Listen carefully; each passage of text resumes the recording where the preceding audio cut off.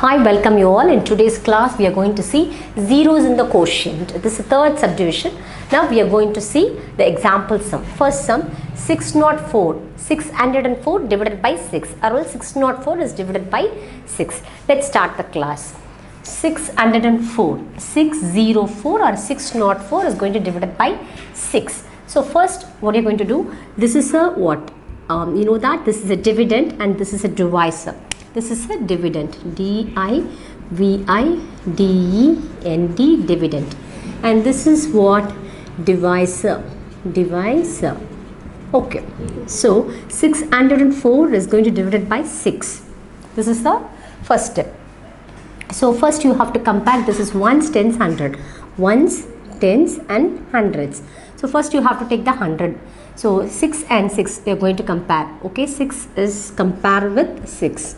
Okay, it's a dividend, is a divisor. So both are equal. So it is it is what is in it is enough to divide. So 6 ones are 6. 1 you must write in the quotient place. 6 ones are 6 you must write. Then 6 minus 6 you can get 0 okay so compared with 0 and 6 0 is not 0 is what less than 6 so 0 is not enough to divide. 0 is not enough to divide by 6 so what you are going to do you have to bring the next digit. So this also what? 0 so 0 means what you're going to do you can't divide. This is this must be cancelled. So you have to 6 minus 6 0 0 is cancelled. So you have to bring down the next digit.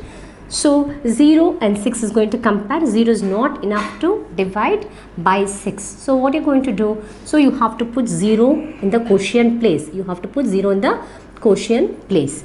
So what you're going to do next? So 0 now what is this? 0 you have to bring down. First 6 minus 6 you can get 0 so I cancel the 0 after that what is a number? So 0 is compared with 6 it's not enough to divide. So again you have to bring down the next digit. It is also 0 so 0 again compared with 6 so 0 less than 6 it is not enough to divide by 6 so you have to put 0 in the quotient place so 6 into 0 again you can get what 0 0 minus 0 you can get again 0 so you must cancel it. So again you have to bring down the 4, bring down the 4. So 4 is compared with 6. So 4 is less than 6. 4 is less than 6. So 4 is not enough to divide it by 6. What are you going to do? So again you have to put 0 in the quotient place. That is 1's place. So 4, so what are you going to do? 4 you have to stop because there is no number hereafter. So you have to stop. So this is the remainder and this is a quotient. So that is very clear. I'll repeat once again 604 is going to divide by 6. First you have to take 604. So 6 what is what 6 you have to take. This is a 100 place value. The number is 6. Okay. 6 is going to divide by 6. So 6 is equal to 6. So 6 ones are 6. Okay. 6 ones are 6. You must use the sixth table. 6 ones are 6. You have to write 6. So 6 minus 6 you can get 0. You must cancel the 0. So what is the next digit? You have to bring down the tens place value. That number is 0. You have to bring down the 0. So 0 is going to compare with 6. 0 is less than 6. So it is not enough to divide it by 6. So what you're going to do? You have to put 0 in the what? You have to put 0 in the quotient place. So 0 into 6 again 0. 0 minus 6. Uh, sorry 0 minus 0 you can get 0 only. I just cancelled the 0 also. So what I'm going to do, the next digit I have to bring down what 4 and 4 is compared with 6 again. 4 is less than 6 so 4 is not enough to divide by 6.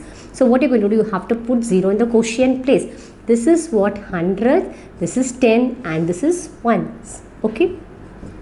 So 4. So 4 is a reminder. So quotient is what? Quotient is what? That is 100 and quotient is 100 and reminder is what? 4. 100 and remainder is 4. So you just want to check means what is this? Check you know that very well how to do the check method that is quotient into divisor plus remainder you can get capital D that is dividend.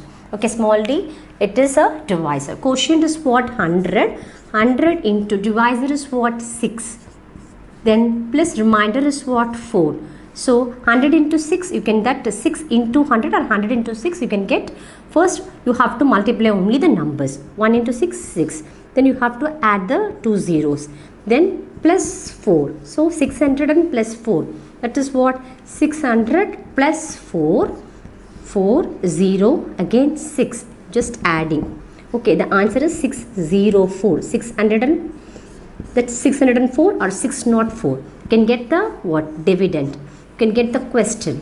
That is the right answer. So you find the quotient and the reminders both are correct.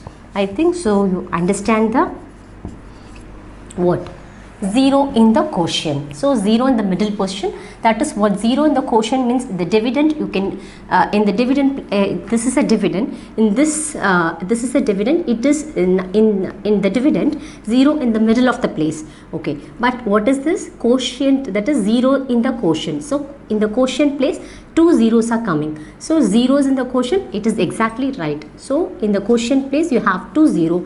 Though so the title is exactly right zero in the quotient. That means 100 is a quotient and remainder is 4 i think so zero in the quotient you understand very clearly. This is the example sum only